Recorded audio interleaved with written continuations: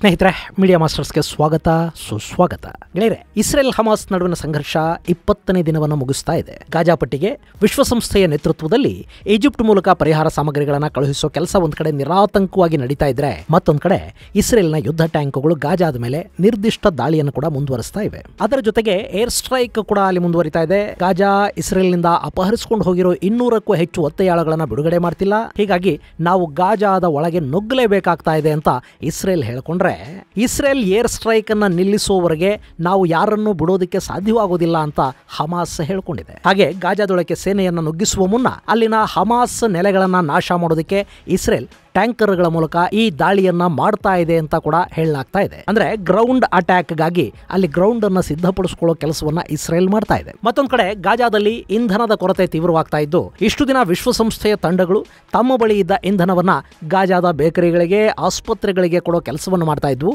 ಈಗ ಅದು ಕೂಡ ಮುಗಿತಾ ಬಂದಿರೋದ್ರಿಂದ ಈ ಕೂಡಲೇ ಅಲ್ಲಿಗೆ ಇಂಧನ ಸರಬರಾಜಾಗೋ ಹಾಗೆ ನೋಡ್ಕೋಬೇಕು ಅಂತ ಪರಿಹಾರ ಕಾರ್ಯಕರ್ತರು ಆಗ್ರಹ ಪಡಿಸ್ತಾ ಇದ್ದಾರೆ. ಈ ಸಂಘರ್ಷಕ್ಕೆ ಮುನ್ನ ಗಾಜಾಗೆ ಪ್ರತಿನಿತ್ಯ ಐದು ನೂರು ಟ್ರಕ್ಗಳು ಓಡಾಡ್ತಾ ಇದ್ವು. ಈಗ ಅವುಗಳ ಸಂಖ್ಯೆ ಎಪ್ಪತ್ತಕ್ಕೆ ಇಳಿದಿದೆ. ಹೀಗಾಗಿ ಅಲ್ಲಿನ ಜನಕ್ಕೆ ವೇಗವಾಗಿ ಪರಿಹಾರ ಸಾಮಗ್ರಿಯನ್ನು ತಲುಪಿಸೋದು ಕೂಡ ವಿಳಂಬವಾಗ್ತಾ ಇದೆ ಅನ್ನೋದು ವಿಶ್ವಸಂಸ್ಥೆಯ ಕಾರ್ಯಕರ್ತರು ಹೇಳ್ತಾ ಇರೋ ಮಾತು. ಆದರೆ ಗಾಜಾಗೆ ಇಂಧನ ಸರಬರಾಜಾಗೋದಕ್ಕೆ ಇಸ್ರೇಲ್ ಅವಕಾಶವನ್ನು ಕೊಡ್ತಾ ಇಲ್ಲ. ಇಂಧನ ಸಿಗೋದಕ್ಕೆ ಶುರುವಾದ್ರೆ ಹಮಾಸ್ ಮತ್ತೆ ತನ್ನ ಶಕ್ತಿಯನ್ನ ಹೆಚ್ಚು ಮಾಡಿಕೊಳ್ಳುತ್ತೆ ಮತ್ತೆ ದಾಳಿಯನ್ನ ತೀವ್ರಗೊಳಿಸೋ ಸಾಧ್ಯತೆಗಳಿರುತ್ತವೆ ಅನ್ನೋದು ಇಸ್ರೇಲ್ನ ಅಭಿಪ್ರಾಯ. ಹೀಗಾಗಿ ಅಲ್ಲೀಗ ಇಂಧನದ ಕೊರತೆ ಉಂಟಾಗ್ತಾ ಇದೆ. ಹಾಗೆ ಈ ಸಂಘರ್ಷ ಕೇವಲ ಗಾಜಾಗೆ ಮಾತ್ರ ಸೀಮಿತವಾಗಿ ಉಳಿದಿಲ್ಲ. ವೆಸ್ಟ್ ಬ್ಯಾಂಕ್ ಅಲ್ಲಿ ಇಸ್ರೇಲ್ ವಿರುದ್ಧ ಪ್ರತಿಭಟನೆಗಳನ್ನು ಮಾಡ್ತಾ ಇದ್ದವರು ಹಾಗೂ ಅಲ್ಲಿಂದ ಇಸ್ರೇಲ್ ಮೇಲೆ ದಾಳಿಗೆ ಮುಂದಾದವರನ್ನ ಬಂಧಿಸುವ ಕೆಲಸವನ್ನು ಕೂಡ ಇಸ್ರೇಲ್ ತೀವ್ರಗೊಳಿಸಿದೆ. ಇಲ್ಲಿವರೆಗೆ ಅಂದ್ರೆ ಇಸ್ರೇಲ್ ಹಮಾಸ್ ಸಂಘರ್ಷ ಶುರುವಾದ ನಂತರ ವೆಸ್ಟ್ ಬ್ಯಾಂಕ್ ಅಲ್ಲಿ ಸುಮಾರು ನೂರ ಹತ್ತಕ್ಕೂ ಹೆಚ್ಚು ಮಂದಿ ಸಾವಿಗೀಡಾಗಿದ್ದಾರೆ. ಸಾವಿರದ ಒಂಬೈನೂರಕ್ಕೂ ಹೆಚ್ಚು ಮಂದಿ ಅಲ್ಲಿ ಗಾಯಗೊಂಡಿದ್ದಾರೆ ಅಂತ ಪಾಲಸ್ತೀನಿ ಮಾಧ್ಯಮ ಡಬ್ಲ್ಯೂ ಎಫ್ ಎ ವರದಿ ಮಾಡಿದೆ. ಹಾಗೆ ಶುಕ್ರವಾರ ಅಂದ್ರೆ ಇವತ್ತು ಕೂಡ ಅಲ್ಲಿನ ಕೆಲ ಇಸ್ಲಾಮಿಕ್ ಜಿಹಾದ್ ಸದಸ್ಯರನ್ನ ಬಂಧಿಸೋದಕ್ಕೆ ಇಸ್ರೇಲ್ನ ಯೋಧರು ವೆಸ್ಟ್ ಬ್ಯಾಂಕ್ಗೆ ಹೋಗಿದ್ರು. ಅಲ್ಲಿನ ಕೌಲ್ಕಿಯಾದಲ್ಲಿ ಇಸ್ರೇಲಿ ಪಡೆಗಳ ಮೇಲೆ ಪ್ಯಾಲಸ್ತೀನಿಯರು ದಾಳಿ ನಡೆಸಿದ್ದಾರೆ. ಆ ಸಂದರ್ಭದಲ್ಲಿ ಪ್ರತಿ ದಾಳಿಗೆ ಸೇನೆ ಮುಂದಾದಾಗ ಇಬ್ಬರು ಉಗ್ರರು ಸಾವಿಗೀಡಾಗಿದ್ದಾರೆ. ಹಾಗೆ ಇನ್ನಿಬ್ಬರು ಪ್ಯಾಲಸ್ತೀನಿ ನಾಗರಿಕರು ಕೂಡ ಬಲಿಯಾಗಿದ್ದಾರೆ ಅಂತ ಹೇಳಲಾಗ್ತಾ ಇದೆ. ಅಲ್ಲಿ ಸಾವಿಗೀಡಾದವರ ಪೈಕಿ ಒಬ್ಬನನ್ನ ಐಸರ್ ಅಲ್ ಅಮರ್ ಅಂತ ಗುರುತಿಸಲಾಗಿದೆ.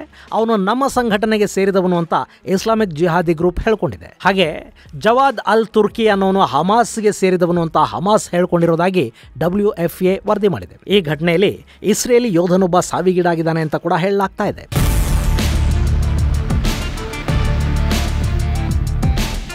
ಗೆಳೆಯರೆ ಹಮಾಸ್ ಹಾಗೂ ಪ್ಯಾಲೆಸ್ತೀನ್ ಸಂಘರ್ಷ ಆರಂಭವಾದ ನಂತರ ವೆಸ್ಟ್ ಬ್ಯಾಂಕ್ ಅಲ್ಲಿ ಕೂಡ ಸಂಘರ್ಷ ಹೆಚ್ಚಾಗ್ತಾ ಇದೆ. ಅಲ್ಲಿನ ಕೆಲ ಪ್ಯಾಲಸ್ತೀನಿ ಉಗ್ರರು ಯಹೂದಿಗಳ ಮೇಲೆ ದಾಳಿ ಮಾಡ್ತಾ ಇದ್ದಾರೆ. ಹಾಗೆ ಅಲ್ಲಿನ ಇಸ್ರೇಲಿ ಪೊಲೀಸರ ಮೇಲೆ ಕೂಡ ದಾಳಿಗಳು ನಡೀತಾ ಇವೆ. ಹೀಗಾಗಿ ಅಲ್ಲೂ ಇಸ್ರೇಲ್ ಪ್ರತಿದಾಳಿಯನ್ನ ನಡೆಸ್ತಾ ಇದೆ. ವೆಸ್ಟ್ ಬ್ಯಾಂಕ್ನಿಂದ ನೂರಾರು ಮಂದಿಯನ್ನ ಈಗಾಗಲೇ ಇಸ್ರೇಲಿ ಪೊಲೀಸರು ಬಂಧಿಸಿದ್ದಾರೆ. ಕೆಲ ಕಡೆಗಳಲ್ಲಿ ಇಸ್ರೇಲಿ ಪೊಲೀಸರ ವಿರುದ್ಧ ಮಕ್ಕಳನ್ನ ಮುಂದೆ ಬಿಟ್ಟು ಕಲ್ಲು ತೂರಾಟ ಮಾಡಿಸ್ತಾ ಇರೋ ಕೆಲ ವಿಡಿಯೋಗಳು ಕೂಡ ಸೋಷಿಯಲ್ ಮೀಡಿಯಾಗಳಲ್ಲಿ ಹರಿದಾಡ್ತಾ ಇವೆ. ದೊಡ್ಡವರಾದ್ರೆ ಪೊಲೀಸರು ಗುಂಡು ಹಾರಿಸ್ತಾರೆ, ಚಿಕ್ಕ ಮಕ್ಕಳ ಮೇಲೆ ವಾಪಸ್ ದಾಳಿ ಮಾಡೋದಕ್ಕಾಗೋದಿಲ್ಲ, ಹೀಗಾಗಿ ಮಕ್ಕಳನ್ನು ಮುಂದಿಟ್ಟುಕೊಂಡು ಅಲ್ಲಿ ಪೊಲೀಸರನ್ನ ಎದುರಿಸುವ ಕೆಲಸ ನಡೀತಾ ಇದೆ. ಇದೆಲ್ಲದರ ನಡುವೆ ಆತಂಕಕಾರಿ ವಿಷಯ ಅಂದ್ರೆ ಹಮಾಸ್ ಹಾಗೂ ಇಸ್ರೇಲ್ ಸಂಘರ್ಷದಲ್ಲಿ ಪಕ್ಕದ ಈಜಿಪ್ಟ್ ವಿನಾಕಾರಣ ಬಲಿಯಾಗ್ತಾ ಇದೆ ಅನ್ನೋದು. ಕಳೆದ ವಾರ ಇಸ್ರೇಲಿ ಯುದ್ಧ ಟ್ಯಾಂಕರ್ನಿಂದ ಹಾರಿದ ಶೆಲ್ ಒಂದು ಈಜಿಪ್ಟ್ನ ಸೇನಾ ಪೋಸ್ಟ್ ಮೇಲೆ ಬಿದ್ದಿತ್ತು. ಅಲ್ಲಿ ಕೆಲ ಈಜಿಪ್ಟ್ ಯೋಧರಿಗೆ ಸಣ್ಣ ಪುಟ್ಟ ಗಾಯಗಳು ಆಗಿದ್ವು. ತಕ್ಷಣ ಇಸ್ರೇಲ್ ಈ ಘಟನೆಯ ಬಗ್ಗೆ ತೀವ್ರ ವಿಷಾದವನ್ನು ವ್ಯಕ್ತಪಡಿಸಿತು ಮತ್ತು ಈಜಿಪ್ಟ್ನ ಕ್ಷಮೆಯನ್ನು ಕೂಡ ಕೇಳಿತು. ಅದರ ಬೆನ್ನಲ್ಲೇ ಈಗ ಈಜಿಪ್ಟ್ನ ಪ್ರವಾಸಿ ಪಟ್ಟಣ ಹಾಗೂ ರೆಸಾರ್ಟ್ ಟೌನ್ ಅಂತಲೇ ಕರೆಸಿಕೊಳ್ಳಲ್ಪಡುವ ತಬಾ ಪಟ್ಟಣದ ಮೇಲೆ ಹಾಗೂ ಅಲ್ಲಿಂದ ಎಪ್ಪತ್ತು ಕಿಲೋಮೀಟರ್ ದೂರದಲ್ಲಿನ ನ್ಯೂಯಿಬಾ ಅನ್ನೋ ಪಟ್ಟಣದ ಮೇಲೆ ಮಿಸೈಲ್ ದಾಳಿಗಳು ನಡೆದಿವೆ. ಈ ಎರಡು ಕೂಡ ಇಸ್ರೇಲ್ ಜೊತೆಗೆ ಗಡಿಯನ್ನ ಹಂಚಿಕೊಳ್ಳುತ್ತವೆ. ಇನ್ನು ಇಲ್ಲಿ ನೀವು ನೋಡ್ತಾ ಇದ್ದೀರಲ್ಲ, ಇದು ತಬಾ. ಕೆಂಪು ಸಮುದ್ರದ ದಡದಲ್ಲಿರುವ ತಬಾ ಈಜಿಪ್ಟ್ನ ಅತ್ಯಂತ ಪ್ರಸಿದ್ಧ ಪ್ರವಾಸಿ ತಾಣಗಳ ಪೈಕಿ ಒಂದು. ಏನಿದ್ರ ಪಕ್ಕದಲ್ಲೇ ಇಸ್ರೇಲ್ನ ಬಂದರು ನಗರ ಇಲಾತ್ ಇದೆ. ಈ ಇಲಾತ್ ಅನ್ನೋದು ಇಸ್ರೇಲ್ನ ಅತಿ ಮುಖ್ಯ ಬಂದರುಗಳ ಪೈಕಿ ಒಂದು. ಇಲ್ಲಿ ಈ ದಾಳಿಯ ಬಗ್ಗೆ ಇದುವರೆಗೆ ಯಾರು ಕೂಡ ಹೊಣೆಯನ್ನ ಹೊತ್ತಿಲ್ಲ. ಆದರೆ ಈಜಿಪ್ಟ್ನ ಮಾಧ್ಯಮಗಳ ವರದಿ ಪ್ರಕಾರ ಇದು ಹಮಾಸ್ ಹಾಗೂ ಇಸ್ರೇಲ್ ನಡುವಿನ ಸಂಘರ್ಷದ ಭಾಗವಾಗಿ ನಡೆದ ದಾಳಿ. ಇದರಲ್ಲಿ ಆರು ಮಂದಿ ಗಾಯಗೊಂಡಿದ್ದಾರೆ ಅಂತ ಈಜಿಪ್ಟ್ನ ಆರೋಗ್ಯ ಇಲಾಖೆಯ ಪ್ರಕಟಣೆ ತಿಳಿಸಿದೆ. ಇನ್ನು ಬುಧವಾರ ಹಮಾಸ್ ಉಗ್ರರು ಇಸ್ರೇಲ್ನ ಇಲಾತ್ ಮೇಲೆ ದಾಳಿ ನಡೆಸುವುದಾಗಿ ಹೇಳಿಕೊಂಡಿದ್ರು. ಅದರ ಭಾಗವಾಗಿ ಹಮಾಸ್ ಹಾರಿಸಿದ ಮಿಸೈಲ್ ಇಲಾತ್ ಮೇಲೆ ಬೀಳುವ ಬದಲಿಗೆ ಅದರ ಪಕ್ಕದಲ್ಲೇ ಇರೋ ತಬಾ ಮೇಲೆ ಬಿದ್ದಿರೋ ಸಾಧ್ಯತೆಗಳಿವೆ ಅಂತ ಕೂಡ ಹೇಳಲಾಗ್ತಾ ಇದೆ. ಹಾಗೆ ಇರಾನ್ ಬೆಂಬಲಿತ ಯಮನ್ ಉಗ್ರರು ಕೂಡ ಈ ಸಂಘರ್ಷದಲ್ಲಿ ಹಮಾಸ್ನ ಬೆಂಬಲಕ್ಕೆ ನಿಂತಿದ್ದಾರೆ. ಅವರು ಇಸ್ರೇಲ್ ಮೇಲೆ ದಾಳಿ ಮಾಡುವ ಪ್ರಯತ್ನವನ್ನು ನಡೆಸ್ತಾ ಇದ್ದಾರೆ. ಇತ್ತೀಚೆಗೆ ಯಮನ್ ಕಡೆಯಿಂದ ಹಾರಿ ಬಂದ ಪ್ರಾಜೆಕ್ಟೈಲ್ ಒಂದನ್ನು ನಾವು ಇಂಟರ್ಸೆಪ್ಟ್ ಮಾಡಿದೀವಿ ಅಂತ ಅಮೆರಿಕಾದ ನೌಕಾಪಡೆ ಕೂಡ ಹೇಳಿದೆ. ಹಾಗಾದ್ರೆ ಇದು ಹಮಾಸ್ ಕಡೆಯಿಂದ ಹಾರಿ ಬಂದ ಮಿಸೈಲ ಹೌತಿಗಳು ಹಾರಿಸಿದ ಮಿಸೈಲ ಅನ್ನೋದು ಇನ್ನೂ ಖಚಿತವಾಗ್ತಾ ಇಲ್ಲ. ಈ ಸಂಘರ್ಷದಲ್ಲಿ ಈಜಿಪ್ಟ್ ಅನ್ನ ಅನಾವಶ್ಯಕವಾಗಿ ಎಳೆಯೋ ಪ್ರಯತ್ನಗಳು ನಡೀತಾ ಇವೆ ಅನ್ನೋ ಆರೋಪ ಮಾತ್ರ ಇಲ್ಲಿ ಕೇಳಿ ಬರ್ತಾ ಇದೆ. ಇನ್ನು ಈಜಿಪ್ಟ್ ಕೂಡ ಮಿಸೈಲ್ ದಾಳಿಯ ಬಗ್ಗೆ ತೀವ್ರ ಆಕ್ರೋಶವನ್ನು ವ್ಯಕ್ತಪಡಿಸಿದೆ. ಯಾರೇ ಈ ದಾಳಿಯ ಹಿಂದಿದ್ರೂ ನಾವು ಅವರಿಗೆ ಸಮಯ ಬಂದಾಗ ಸರಿಯಾದ ಪಾಠವನ್ನು ಕಲಿಸ್ತೀವಿ ಅಂತ ಈಜಿಪ್ಟ್ ಹೇಳಿದೆ.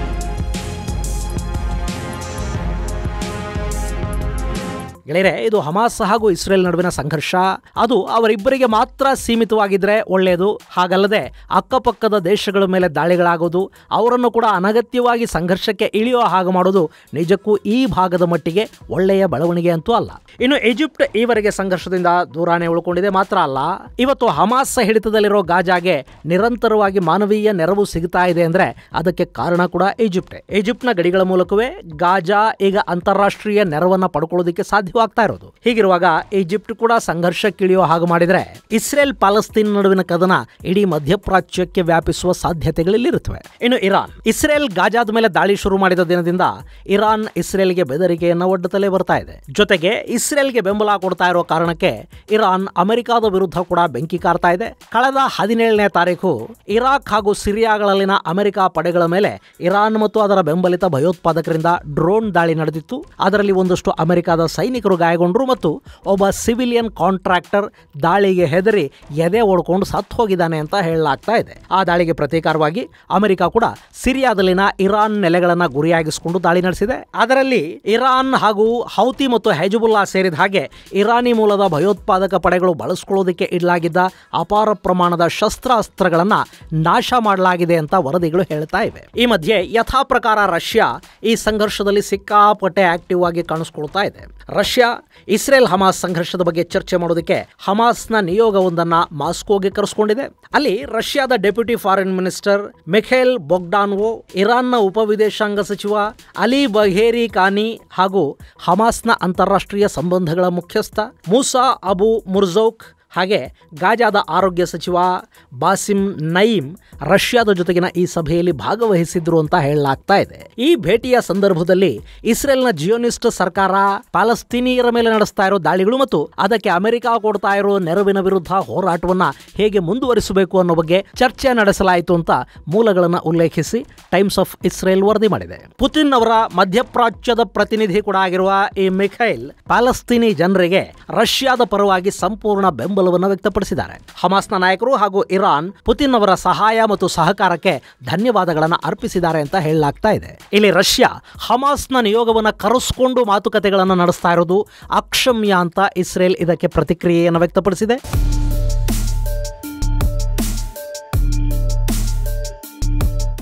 ಗೆಳೆಯರಲ್ಲಿ ಸಹಜವಾಗಿ ಅಮೆರಿಕ ಇಸ್ರೇಲ್ನ ಪರ ನಿಂತಿದೆ ಅಂದ ಮೇಲೆ ರಷ್ಯಾ ಹಮಾಸ್ನ ಪರ ನಿಲ್ಲೋದ್ರಲ್ಲಿ ಅಚ್ಚರಿ ಇಲ್ಲ. ಅಷ್ಟೇ ಅಲ್ಲದೆ ಹಮಾಸ್ ಹಾಗೂ ರಷ್ಯಾದ ನಡುವಿನ ಸಂಬಂಧಗಳು ಕೂಡ ಇವತ್ತು ನಿನ್ನೆಯವೇನಲ್ಲ. ಗಾಜಾದಲ್ಲಿ ಫತಾ ಸರ್ಕಾರವನ್ನ ಕೆಡವಿ ಹಮಾಸ್ ಅಧಿಕಾರವನ್ನ ಕೈಗೆತ್ತಿಕೊಂಡು ಕೂಡಲೇ ಅವರನ್ನ ಅಭಿನಂದಿಸಿದ ಕೆಲವೇ ದೇಶಗಳ ಪೈಕಿ ಈ ರಷ್ಯಾ ಕೂಡ ಒಂದಾಗಿತ್ತು. ರಷ್ಯಾಗೆ ಮಧ್ಯಪ್ರಾಚ್ಯದಲ್ಲಿ ಅಮೆರಿಕಾದ ಮಾತು ಕೇಳದ ಮತ್ತು ಆ ಸಮಸ್ಯೆಯನ್ನು ಶಾಶ್ವತವಾಗಿ ಉಳಿಸುವ ಕೂಟವೊಂದರ ಅಗತ್ಯ ಆಯಿತು. ಅದು ಅರಬ್ ನೆಲದಲ್ಲಿ ಕಾಲಿಡೋದಕ್ಕೆ ಮತ್ತು ದಕ್ಷಿಣ ವಿಶ್ವದಲ್ಲಿ ಪ್ರಭಾವವನ್ನು ಬೆಳೆಸ್ಕೊಳ್ಳೋದಕ್ಕೆ ರಷ್ಯಾ ಅವತ್ತಿಗೆ ಮಾಡಿಕೊಂಡಿದ್ದು ವ್ಯವಸ್ಥೆ. ಆಫ್ರಿಕಾದಲ್ಲಿ ಕೂಡ ರಷ್ಯಾ ಅಲ್ಲಿನ ಸಾಕಷ್ಟು ಬಂಡುಕೋರ ಸಂಘಟನೆಗಳ ಜೊತೆ ಬಾಂಧವ್ಯವನ್ನು ಇಟ್ಟುಕೊಂಡಿದೆ. ಸಾಕಷ್ಟು ಕಡೆಗಳಲ್ಲಿ ಸರ್ಕಾರಗಳನ್ನು ಕೆಡವುತ್ತೆ, ಅಲ್ಲಿನ ರಾಜಕೀಯಗಳಲ್ಲಿ ರಷ್ಯಾ ಹಸ್ತಕ್ಷೇಪ ಕೂಡ ಮಾಡುತ್ತೆ ಪ್ಯಾಲಸ್ತೀನಲ್ಲಿ ಕೂಡ ಹಾಗೆ ಮಾಡ್ತಾ ಇದೆ. ಅಲ್ಲಿನ ಸೆಕ್ಯುಲರ್ ಫತಾಗಳಿಗಿಂತ ರಷ್ಯಾಗೆ ಹಮಾಸ್ ಮೇಲೆ ಸ್ವಲ್ಪ ಪ್ರೀತಿ ಜಾಸ್ತಿ. ಯಾಕೆಂದ್ರೆ ಹಮಾಸ್ ಇರಾನ್ ಕೂಟದ ಜೊತೆಗೆ ಗುರುತಿಸಿಕೊಂಡಿದೆ ಅನ್ನೋ ಕಾರಣಕ್ಕೆ ಮತ್ತು ಆ ಭಾಗದಲ್ಲಿ ಕಮ್ಯುನಿಸ್ಟ್ ಬಂಡುಕೋರರು ತಮ್ಮ ಶಕ್ತಿಯನ್ನ ಕಳ್ಕೊಂಡ ನಂತರ ಅಲ್ಲಿ ರಷ್ಯಾದ ಆಶೋತ್ತರಗಳನ್ನ ಈಡೇರಿಸಬಲ್ಲ ಸಂಘಟನೆಯಾಗಿ ಕಾಣಿಸ್ಕೊಳ್ತಾ ಇರೋದು ಈ ಹಮಾಸ್. ಹೀಗಾಗಿ ಹಮಾಸ್ ಜೊತೆಗೆ ರಷ್ಯಾ ಉತ್ತಮ ಸಂಬಂಧಗಳನ್ನು ಇಟ್ಟುಕೊಂಡಿದೆ ಮತ್ತು ಅದೇ ಹಿನ್ನೆಲೆಯಲ್ಲಿ ಹಮಾಸ್ ನಿಯೋಗವನ್ನು ಕೂಡ ರಷ್ಯಾ ಮಾಸ್ಕೋಗೆ ಕರೆಸ್ಕೊಂಡು ಮಾತುಕತೆಗಳನ್ನು ಕೂಡ ನಡೆಸಿದೆ. ರಷ್ಯಾ ಹಾಗೂ ಹಮಾಸ್ ಸಂಬಂಧಗಳ ಬಗ್ಗೆ ಕೂಡ ನಿಮಗೆ ಮುಂದಿನ ಸಂಚಿಕೆಯಲ್ಲಿ ವಿವರವಾಗಿ ಹೇಳ್ತೀನಿ. ಸದ್ಯಕ್ಕೆ ಇದು ಪ್ಯಾಲೆಸ್ತೀನ್ಗೆ ಸಂಬಂಧಪಟ್ಟ ಒಂದಷ್ಟು ಅಪ್ಡೇಟ್ಸ್. ಮುಂದಿನ ಸಂಚಿಕೆಯಲ್ಲಿ ಮತ್ತಷ್ಟು ವಿಶೇಷಗಳ ಜೊತೆ ಮತ್ತೆ ಭೇಟಿಯಾಗೋಣ. ಅಲ್ಲಿವರೆಗೆ. जय हिंद जय कर्नाटका।